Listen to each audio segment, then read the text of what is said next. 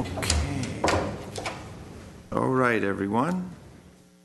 I would like to call to order the joint meeting of May 19th, 2015 of the Glendale City Council and the Glendale Successor Agency. May we have the roll call, please, for the successor agency? Council members Devine? Yes, here. Uh, agency, sorry, you said for successor Here. agency first? Successor. Sure. Uh, agent, uh, agency members Devine? Here. Friedman? Here. Gharpetian? Here. Sinanyan? Chair Najarian? Here, and for the council. Council members Devine? Here. Friedman? Here. Gharpetian? Here. Sinanyan? Mayor Najarian? Here. Uh, Would you please read the report? The agenda for the May 19, 2015 joint public meeting of the City Council and Successor Agency was posted on Friday, May 15, 2015, on the bulletin board outside City Hall. Today, we have Directors of Public Works and Library, Arts and Culture regarding Central Library renovation project in connection with specification number 3551R.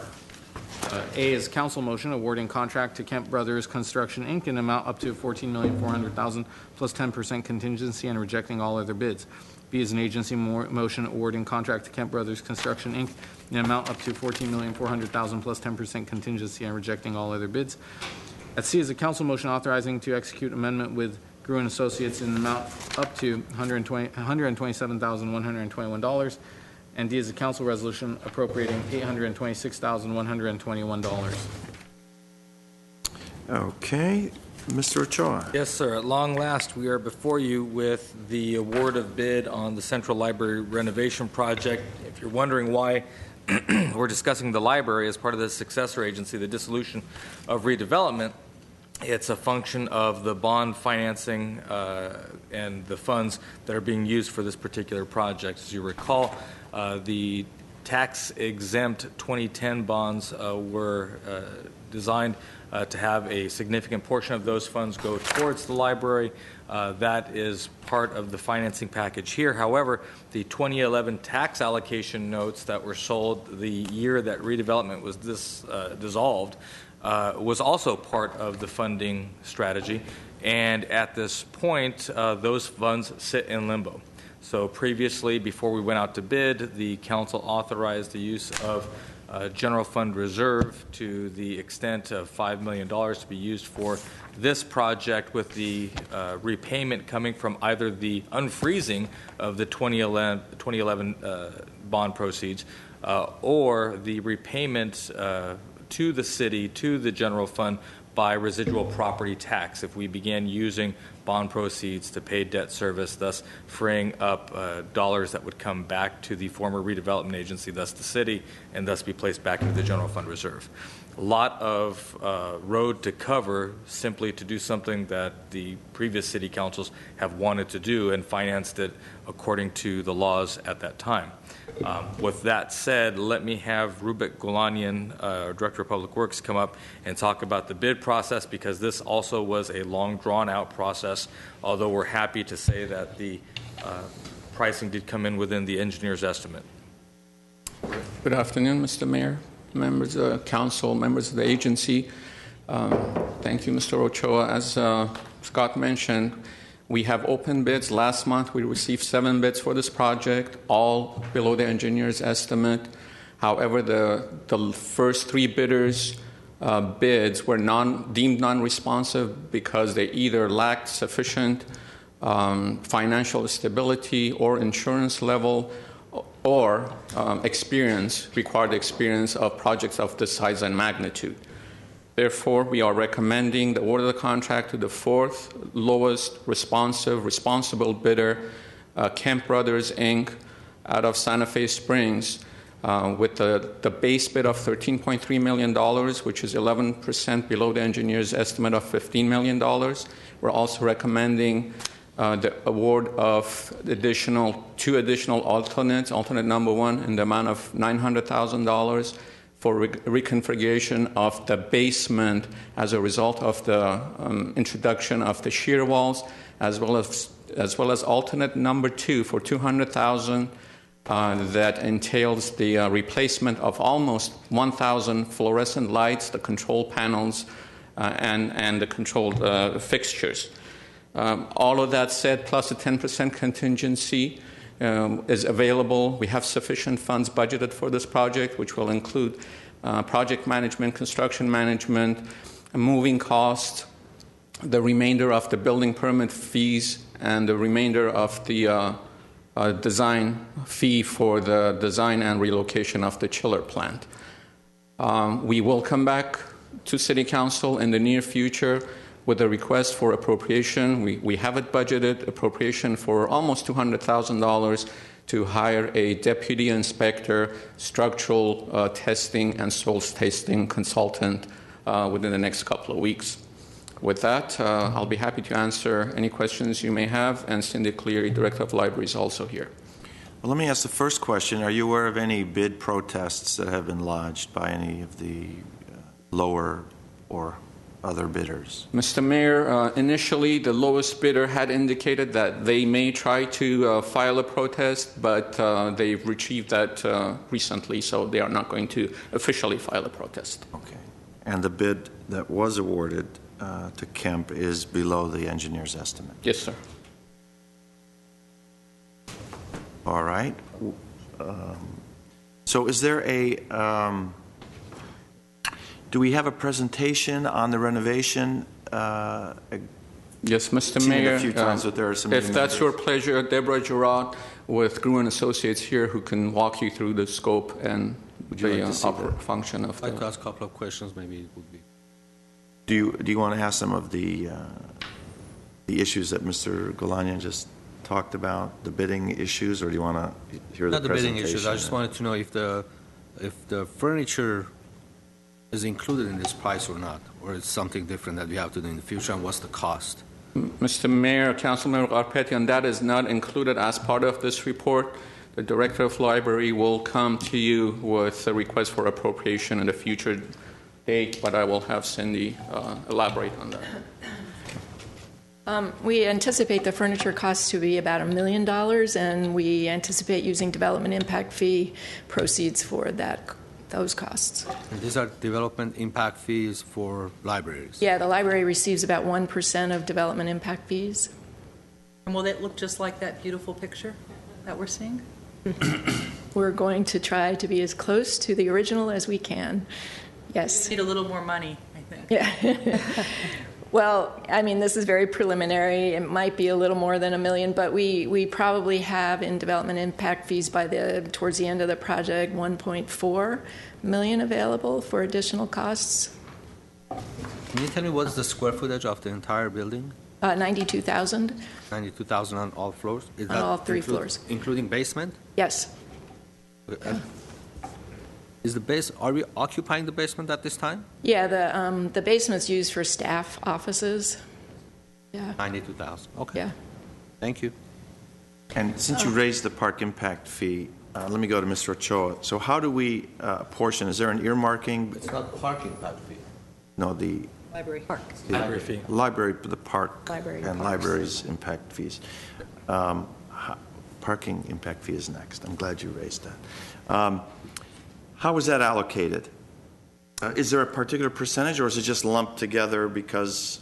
uh, The- uh, For the library impact fee, the, um, the renovation of Central Library really has been the um, ideal that we've been working towards. So monies that have been collected over uh, the last several years, Cindy's been working with her staff to set those aside. There will be some work done at the branches, uh, but but generally, uh, the bulk of our funding that comes through library impact is going to this project. So uh, I guess my question is on that, you know, the per unit fee of 17 or 18,000 that we Oh, charge. what percentage of Yeah, that? Is it, is it allocated uh, and, and distinguished between parks and libraries? Yes, because it's a percentage for each, but I don't know how that would break down in the 17,000. Okay, so I don't, I don't have an issue if, if Parks tells me that's how they want to, excuse me, how, if libraries, library tells me that's how they want to use their funds. Uh, we still need to have that larger discussion about parks. There's a lot of park demands, and is it going to be in the river? Is it going to be on urban parks? Is it going to be That will whatever? happen So this year. that, that's another issue. So as long as they're not in the same pot of money. That's correct. Okay, But what is the percentage? Did he, did you say what the what is the percentage? percentage? We'd have to get back. Oh, on you have to that. look it up. I'm sorry, I Okay. don't know what It's it not is. Yeah, but it is a 50/50 set or- fee okay. based on the Okay. calculation of the impact of development Okay. on libraries versus our park system, very clearly delineated between the two. Okay. Okay. So why don't we hear a a brief overview? Okay, I'll I'll the, uh, invite Deborah Gerard to go through the presentation. Good afternoon. Uh, Thank you for allowing me to do this. I love talking about this project. It's a great project. Uh, My name is Deborah Gerard. I'm a partner at Gruen Associates and have been working with uh, uh, the city and the library for several years now uh, on this. And uh, You did Brand Library, the Brand And Library, we did Brand you? Library, too. Yes, all right, good. Good, good. So, so this is the uh, image of what the building looked like in 1973 when it was completed, designed by Marvin Taff of uh, Welton Becket Associates. And uh, just for your information, we did consult with Mr. Taft, who is uh, still living, no longer practicing, but still in this area. And uh, he was very supportive of, of this project. Uh, these are the goals that uh, the city and library established, and then we helped refine uh, through the course of the project to really respond to changes in the neighborhood, um, to uh, respond to changes in how libraries service uh, the public, to modernize the library, so changes to technology and how many things there are to plug in uh, these days that weren't around in 1973. Uh, to look at this as a historic building, even though it isn't today, to allow uh, us to proceed in a manner that allows it to retain its eligibility should we decide, should you decide in the future to uh, seek that designation. Uh, it's a really one of the better brutalist pieces of brutalist architecture in the area. Uh, accessibility uh, is obviously important uh, for the public, uh, wayfinding, and uh, then lastly, seismic upgrades. And for the investment that we're making in this project to make sure seismic upgrades were not mandated, but they seem to be prudent based on the investment. Uh, and so those goals translated into uh, this little uh, list of the, the main activities, uh, the main changes that we're making, moving the entrance from the east side where it currently is off the parking lot to the north side. And, and that's really to uh, address the fact that the major parking is actually in the parking structure across Harvard. Um, the major public transit lines are driving along, are uh, running along Harvard, and the Americana is a, a big pedestrian draw, and so those are all addressed through this move of the entrance. Uh, we also have the opportunity to make uh, a little accessible, uh, a little uh, programmable plaza in front as well, which is something that we did at Brand as well. It's been successful and uh, I think been good for the library. And through the course of this, revise the staff entrance. We are adding an ADA compliant elevator that accesses all levels. The one that's ADA compliant currently does not access all levels. Revising the stack layout so that we can integrate seating with it. Uh, relocating the administrative offices to uh, uh, make them a little more efficient. Right now, the admin services are in multiple places, and this co locates them. Uh, we're adding a room for rotating exhibits uh, on man's inhumanity to man and uh, a maker space, which is a, a creative uh, do it yourself space where we'll have some uh, equipment like a 3D printer uh, that can be uh, put into the space and that people can, can rent and utilize on an individual basis. Uh, adding shear walls and doing that in a manner that's discreet so that we don't impact that future eligibility for historic status. Uh, upgrading toilet rooms, always a very important thing to do, making them uh, ADA compliant and improving their flow and functioning. Uh, relocating the central plant so that it improves uh, the efficiency of the equipment as well as uh, opens up the space so that in the future the Paseo is not impacted by the central plant, which is right in the middle of the Paseo at the moment. And uh, mechanical electrical systems and upgrading acoustics uh, for the auditorium. And uh, just a quick mention that we did go out to the community as well as the Historic Preservation Commission several times. So, again, this was our muse. This is uh, uh, an image that we thought was really quite lovely. But this is what it looks like today. So, not quite as lovely. Um, some of it's the color, some of it's just being dated, some of it's incremental changes that took place uh, over the course of the life of this building. And so this is what we hope to get back to. It's a, a modernized version of the original, um, but really returning the great room to be a great room where it's it's a reading space and a collaboration space, and uh, uh, and that it really opens up uh, the space. Um, in plan, because it's probably an easier way to show you some of these things. So the north is up. I'm not sure if this pointer does much. The red dot doesn't appear on that. Yeah, you're right. All right, so I'll just talk my way through it. Red, uh, north is up on the page, so uh, Harvard is along the top of the page, and the east is to the right. Um, so the current entry is off to the east. We are re- relocating it to the north. And so you immediately walk into this big, great room off of uh, uh, the entry plaza, and you immediately see uh, with great clarity uh, that there are stacks to the right of you, which is on the west, that there are services to the left of you, but that there's this big grand reading room. Um, and uh, the new elevator is right there so that people can see it and access it. it. It's the only location in the building that we can actually access all floors. And from a structural standpoint, it made a lot of sense to put it there because it's not penetrating floors, it's uh, on the edge of uh, the upper level. Um, so it was a cost effective way to add the elevator. Um, the makerspace is down in the lower right hand corner. That's that flexible, uh, creative space that I was talking about. The uh, exhibit room for Man's Inhumanity to Man is uh, off on the right hand side. And you'll see that there are two new entries one called Relocated Entry and the other New Entry. The new entry is on the bottom on the south side. And that's a, a smaller uh, entry, but it, it's in recognition that uh, there are a lot of people who come into this building from the Adult Recreation Center, which is to the south. And so this provides an easy access for those people, as well as it addresses the future Paseo so that uh, people can really enter this building in two ways. And this is part of the change in our attitudes about libraries, which is that libraries are no longer the quiet place where you can't talk and you just get a book and quietly study by yourself. They're really more engaging, more community centers, places where people go to get information, and that information often requires dialogue with other people. And so uh, this is really addressing that changing uh, attitude about libraries. And you'll see the larger toilet rooms are down there on the first floor as well. Uh, upstairs, uh, we've relocated the administrative offices off to the west side. Um, the reading spa is where the admin offices, or a major portion of them, currently are, and uh, that'll be opened up. So that also brings daylight and views into that main space and really helps to connect the north and the south sides of the space.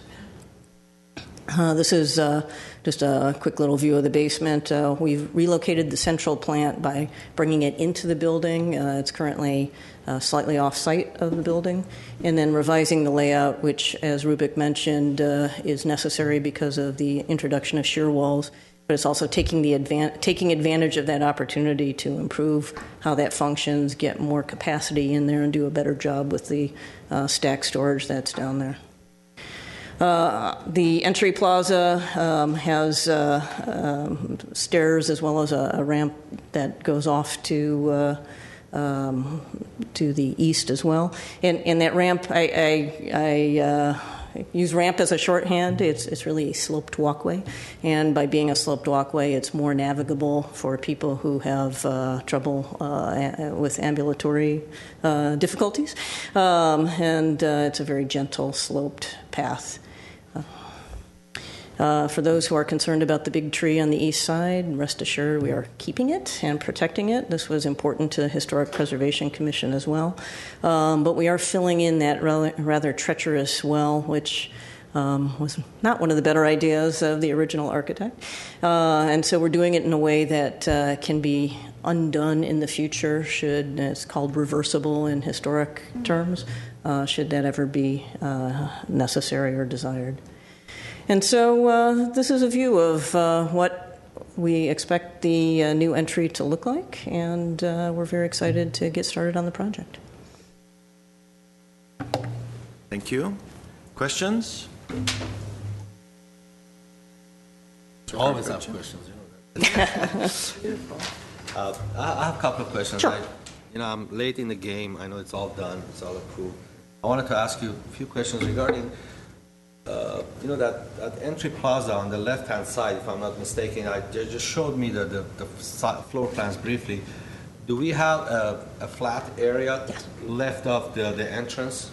Yes. Okay. Uh, uh, uh, to the uh, left, depending on if you're facing the building. yeah, so, so where the north plaza is, that area, it, it actually is much it's deceivingly uh, deceiving on this uh, image. It's a rather large area. If you've been to Brand Library, it's almost the size of that uh, plaza that we've added there. Um, so it's it's a rather decent size. And what area. is that, where it says central library, what is that room to the right? So that's that great room. That's the big double story space. Oh, I'm sorry. The room to the right is uh, um, the uh, circulation. So that's where the books are uh, checked back in and sorted and recatalogued. That, that's the one room that we're not really doing anything to. Because what, what, what we were thinking about, or what we talked, we were talking, now I was talking about it, that maybe how, we should have had a little cafeteria there. We would that love it. opened up to the outside, the, the, the out, with the outdoor sitting, that would tie with our uh, art district, inviting people in, because uh, on that deck, you can put some, you know, coffee carts or what have you, but if you can tie that, I don't, I don't know how, how possible is that, but if you have a little cafeteria, because people come there, look at all the big bookstores, they all have cafeterias there. You can, we don't, I know we are not- not in the business of running caf, coffee shops, but it could be leased out to somebody that will tie up to that, to that outdoor seating area, and uh, that would make a, you know, I, I would make sense to me, but I don't know about my colleagues, but on the second floor, Well, can I, can I just address that Yes. briefly? Because we did actually plan for that. So while it's not in, well, there's not a cafeteria or a, ca- a coffee shop or cafe in the project, there is a provision for a coffee cart, so a, a movable.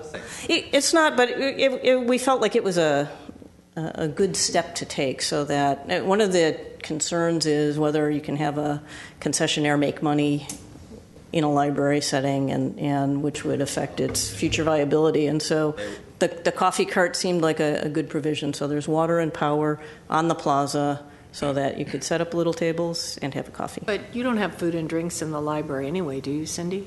Uh, yeah, we allow. Do you? Oh.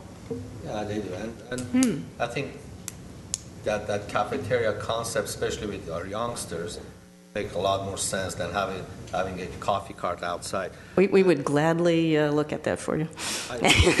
We would love know, that. that's- I, I'm a big coffee drinker too, so I, I would be happy to do that. On the second floor, we have a little kitchen there. Yes. Okay, how big is that kitchen? Uh, that, it's a relatively small kitchen. It's uh, really just to serve the needs of um, events that are in the auditorium. Okay. So it's it's not calling it a kitchen. Is, I think we, we it's more like a little warming space with a microwave And and is that sufficient enough if there's a function at the, at the auditorium and they want to have, I don't know, delivered food or what have you, is it, is it large enough to accommodate them? Because we rent the, the auditorium, right? that's right. And if we can provide something one step larger or one step higher or better quality or what have you, or more, more space or more room, uh, I think we can, we're spending 15, 16 million dollars on, on this library. I, I think having a, I don't know, I can't tell how, how large that, is it larger than 10 by 10? It, it, it's about 10 by 10, um, maybe maybe slightly smaller than that. Yeah. It, it's it's not um, unlike the function of the little kitchenette in Brand Library, and and I just put that out there for context, and some people are familiar with that. So it's got counter space, it's got a sink, uh, it's got a refrigerator. Effectively a prep area for the It- caterers. That's right. Very much more functional than, than what's there right now. That little kitchenette that's just off of the auditorium today. Imagine that, but upgraded and renovated. I, I don't know, if, if, if, if we have the, if it's in the budget and we can, we can do something more quality than that, I, I would, I would go for it. But I, again, I'm, I'm late in the game, I'm, uh, I think a lot of it has been done already, but the, the It, it's more of a space issue, quite frankly, than a, a budget one. Um, What's the one, what's next door to it? uh, the entrance of the auditorium. Which one is the kitchen again? I can't. So The kitchen adj- adjacent to the, to the auditorium? yes. And the one to the right, the small room to the right is what? I don't remember. Actually, I'm so sorry. Um, there's a storage, as well as the two entrances to the room, and then there's a storage space for, actually for our children's services section. And, and in the middle is the uh, AV and uh, um, lighting control. I don't know, I would, I would, I would find another storage space in that huge 92,000 square feet building and make that kitchen a little bit larger. Well, we'll we'll be happy to look at that. Just a suggestion. so. Yeah, sure, we'll be happy to look at that. And so is all the parking across the street then? There's no parking on this site? There is still parking on the site. It's just uh, parking on site is not uh, generally what's used by the li- uh, by the patrons. It's really the parking across the street because the parking on site is limited to uh, 30 minutes or one hour, and uh, they do ticket, uh, as I found out on several occasions. um, but uh, so there will when the paseo is uh, in place, there will be some impact to parking, but our goal has been to find ways to recapture some of the parking without impacting the trees that are uh, beautiful and mature over there. Uh, One more, one more quick comment. On that uh, man's inhu- inhumanity to man, Yes. I, I don't know what, what artifacts we're going to put in there or what are the, what is our, our it wasn't me. Uh, What is, what is our, our goal? But uh, I think as a, this year being the Armenian Genocide Centennial, I think there is a, what is the plan for that? Is there a monument? Is there a- an artifact? What is it that we're going to have to put in there? But this is, this is really enclosed and it's, it's tucked away from everything else. Uh, I think it should be somewhere that's more visible, and especially if you have a monument or an artifact, it has to be somewhere that it's more visible and it's, it's more inviting to people to come in and, and see it. The way I saw, saw this room, I don't know how, I'm really okay reading plans, but I couldn't, I couldn't uh, tell what this is. Yeah, sure. No, I, I can appreciate that. We're, we're trying to find a balance. Uh, so, first of all, the exhibit uh, within the space will be rotating. It's not going to be, or at least uh, the, the current plan is that it would be um, exhibits that can change um, with whatever frequency is desired. So, there's not an artifact in there or any permanent exhibit. And, and we're trying to balance um, a flexible space that is both uh, a part of the rest of the library as well as private uh, enough to be a contemplative space, uh, to be have some solemnity to it, uh, so that it's a, a little bit removed from the um, the the noise that could be within the li- the rest of the library, so that it's just got a more reflective character to it. There is uh, um, transparent uh, wall that is to the north of it between it and the rest of the space, so that people can see in.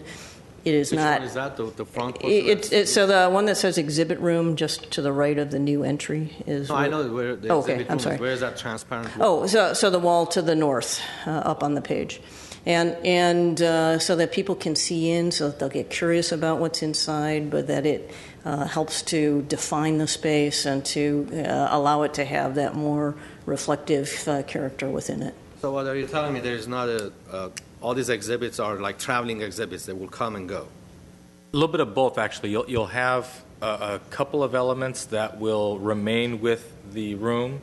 Again, this is what we've we've been working on. It's kind of an iterative process, uh, but some things that will remain throughout.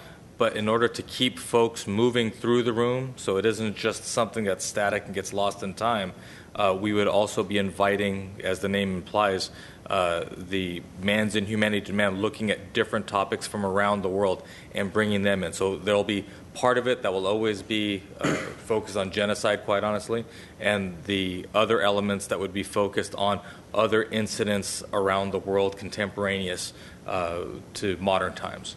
So we want to keep that balance because if it's just something that doesn't change, our fear is what we see in other museums is that people stop coming and they stop learning, and then you lose part of the whole point of the room. And Part of the architectural design and the intent for this space is that it will really differentiate itself. It's got different materials. We're not using the- the materials on this room in any other place in the library, so that it's really special um, and uh, kind of more like a jewel in this space. So Yeah, but we- unfortunately, it's tucked away. So it- It's actually uh, going to be quite more visible than it might appear on plans. And uh, uh, um, I'll see if I can work on a sketch, if this would help you, to kind of give you a visual of, of how you might view it as you walk in. and, and how large is this? Um, it's, uh, Uh, Yeah, I think it's about 750 square feet. 750 square feet? That's as big as some of the apartments in the new con, Well, the new That development. that apartments are not Yeah, uh, it- 92,000 square foot buildings, so. It- It's a fairly large space. These are huge floor plans, so the scale of any element on them is a little bit deceiving.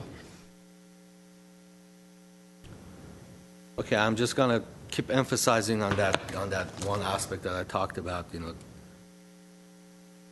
The exhibits that come in, you have to make sure that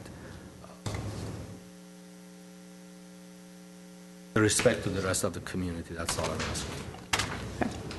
And I, you know, we, um, we talked about that when we were thinking about that room, and the idea is that there would be uh, always something new coming in, uh, not just a static old, you know, I've seen that before, I'm not coming in, kind of like, you know, the Brand Library space where we, you know, every few months, there's something new. It could be art, it could be historical photographs, uh, and I'm, I don't even have half of the types of uh, programming they could put in there, but th- that's the idea. Instead of one static museum where you've seen it once, you've seen it, Well, I understand the exhibits can change, but the, the theme will stay the same.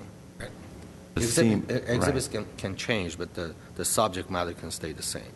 Uh, And I know Councilmember Sinanyan was talking about this with all of the, everybody who was involved, and uh, I'm, I'm on the same page, basically. It, the, the extent that this is the room dedicated to the larger issue of the man's inhumanity demand as seen through the lens of the genocide, especially in this 100th year, is what ties this room together for everything else that will rotate through. As I say, there'll be a balance between the issue of the genocide um, and the reflection on that, and then everything else that kind of comes through and we focus on each year. Okay. Uh, To uh, the mayor's question, they had sent us the information that uh, you were requesting, the beauty of technology. Uh, Looks like $1,671 per unit for the library component, $17,080 for the parks component, for a total of 18,751 per unit, and that's the multifamily amount. So it's basically 50/50, almost. No, no. Oh, no, it's like 90-10. 1,700 versus 17,000 Got it, okay. per unit. mean, I knew that, I was just testing you. Thank you. Okay, any other comments, questions? Okay, well, let's move this item along then. So we have two council motions and one agency, no, we have three, two council motions, one council resolution, and an agency motion. Is there any prohibition against combining the council items? No. there So we have a council item at 1A, 1C, and 1D. I'm going to move the items, but I just want to make a comment that I think Roubik did a really great job. You did a wonderful job. Uh, You did, it was such a spectacular project at Brand Library, so I have a lot of confidence that this will be just as spectacular.